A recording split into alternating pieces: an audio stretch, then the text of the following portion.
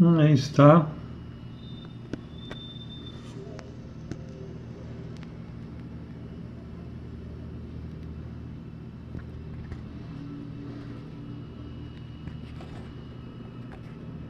Fiação, falta fiação. Se eu vou. É, secundário desse transformador aqui, eu liguei aqui nessa placa, uma placa de fontes. Então os fios vão sair por aqui e vão se esconder aqui, todos por debaixo da placa, para não se ver fios trafegando, né? Aqui eu vou modificar um pouquinho esse esquema para que os fios passem eh, por trás, entendeu? E eles não fiquem assim no meio do caminho. Entendeste? Então é isso aí que eu tenho a dizer para vocês. Não, não insistam no monto. Tá certo?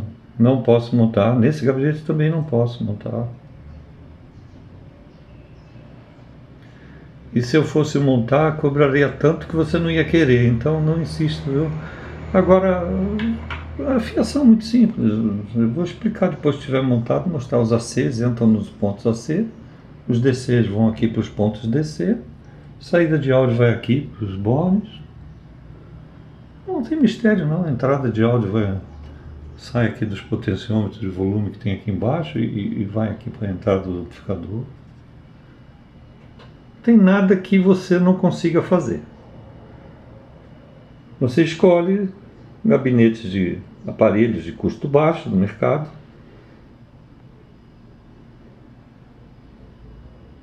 Eventualmente você não se agrada do som,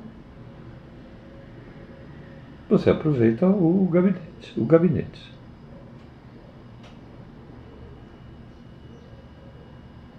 Mas eu repito, eu não faço e não faço para vender dentro deste gabinete em especial, porque eu não posso utilizar o gabinete, comercializar com o gabinete de terceiros.